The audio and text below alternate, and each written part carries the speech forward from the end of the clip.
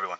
So in this video we're going to be using multivariable calculus techniques to find the formula for the volume of a sphere. We'll be using double integrals in this video and triple integrals in the next video. So let's just start by drawing our xyz coordinate grid. I'm going to draw a small xyz coordinate grid in our black marker. And we're going to call this x, y, z. Now we're going to draw the top half of the sphere, the hemisphere, that will serve as our function. So the equation for this hemisphere is given by z equals radical um, a squared minus x squared minus y squared, where a, let's define a, a is going to be the radius of our circle, of our sphere, rather. So now we're going to be using double integrals and we're going to be using instead of just the typical double integrals we'll be using polar coordinates because it'll make our calculations a lot easier. So we know that in polar coordinates we have function of x y r times dr d theta. What are the limits for r? Going from 0 to a right? From the inside to the outside. And the limits for theta is going to be going from the positive x-axis all the way around. So basically 0 to 2 pi.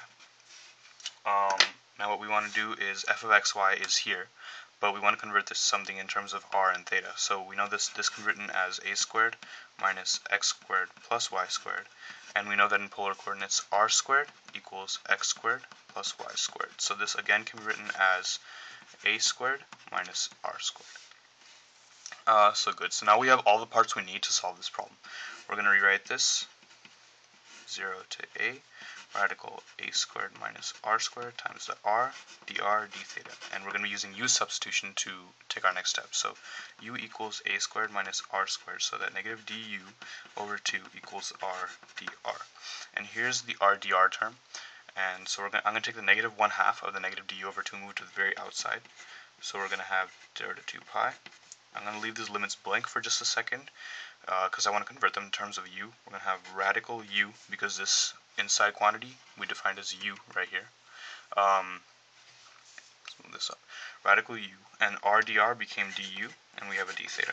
So now the limits are going to be in terms of u. So when we plug in 0 into this u equation, it's going to be a squared, and when we plug in a into here, we're going to get 0.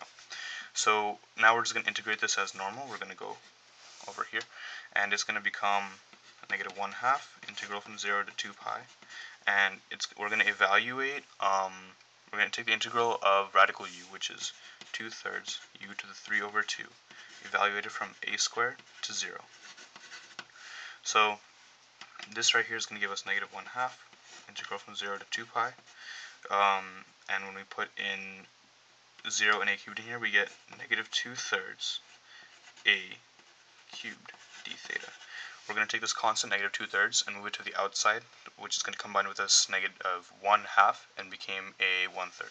So 1 third integral from 0 to 2 pi, this a cubed is in the inside d theta.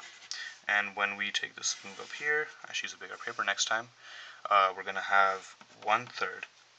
And this, when we take the integral of this, since this is respect to theta, this is a constant, so we're going to have a cubed theta 0 to 2 pi and when we do that, we're going to have, again moving up, we're going to have 2 pi, we're going to have 2 pi a cubed over 3.